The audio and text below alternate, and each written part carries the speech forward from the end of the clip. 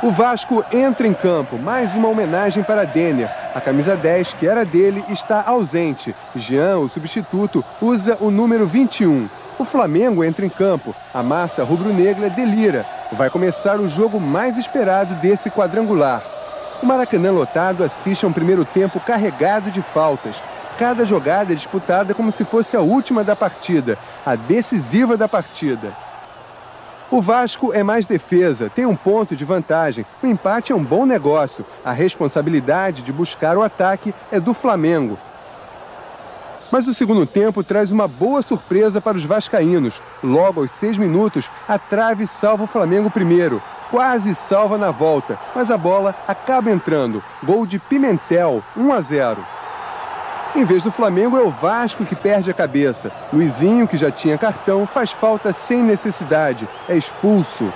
O Flamengo cresce para cima do Vasco. Tem um gol de Nélio anulado. Tem a barreira de Carlos Germano pela frente. Mas também tem o perigo de levar o segundo gol. Maior ainda depois da expulsão de Rogério.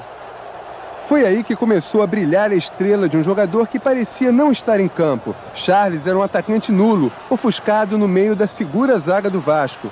Isso até que Valdeir escapa pela direita, cruza e do nada surge o toque do artilheiro. Simples, decisivo, definitivo. Um a um. E melhor, três minutos depois, Nélio é derrubado na área. O pênalti é cobrado por ele, Charles, com calma, categoria, deslocando Carlos Germano. O mundo rubro-negro é só festa. Agora o campeonato tem um novo líder. 2 a 1 Flamengo. Uma vitória com a cara do Flamengo, com garra, com sorte, de virada, quando tudo parecia perdido. Finalmente o Flamengo tira a vantagem do Vasco e definitivamente põe fogo nesse quadrangular. Aguenta coração!